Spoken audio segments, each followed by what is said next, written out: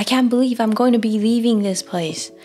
I know I've been thinking about it for a while now, but I can't believe it's actually happening. So, this might be one of the last times that you'll see me filming in this room. I remember when I first saw that room downstairs and the beautiful kitchen.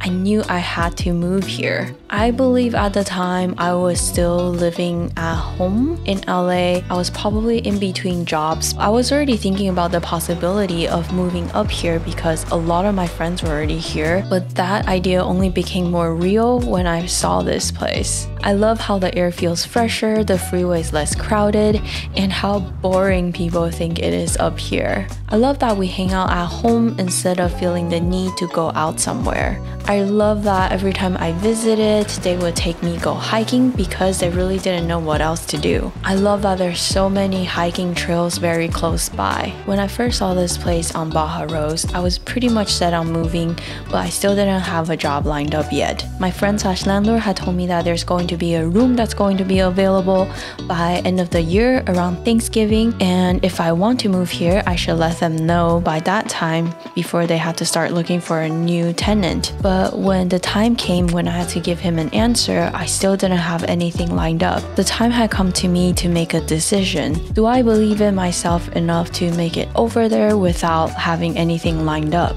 Despite all my self doubts, I decided to go with my gut feeling to commit to renting out that room for $1,200 a month.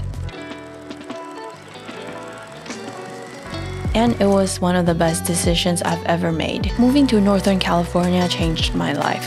It's not because of all the job opportunities here, though, yes, there are a ton of innovative companies here, but it's mainly because of the lifestyle here in comparison to mine in LA. People or companies care more about work life balance here, and because it's so boring, everyone's just kind of forced to just go outdoor. At least that's how my circle is like. In LA, everyone was so overworked, and the very little joy we have left was sucked up by the endless traffic. In LA, I really didn't make that much money, and the very little money I had left was spent on buying myself some happiness, be it eating out all the time or just buying things. Here in Bay Area, I was getting paid higher because of the higher cost of living, but honestly, my rent is not higher than it was in LA.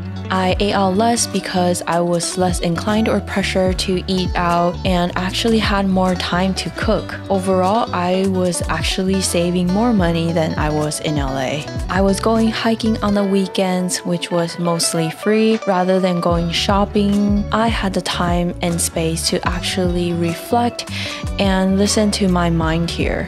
Of course, I also met the best partner I could ever ask for. It's great to be surrounded by these innovative companies, but of course, it comes with its own sets of problems. But in general, my mind is clear and less cluttered by the unnecessary evils. I want more for my life instead of the surface level things I was hiding behind. I was able to take that very uncomfortable step in uploading my first YouTube video and starting this channel in that little room. And I was able to pick up my camera again and relearn how to use it better to better capture my memories memories and my life. I started my indoor quarantine jungle in this room, and I was able to host my friends and family in that beautiful kitchen.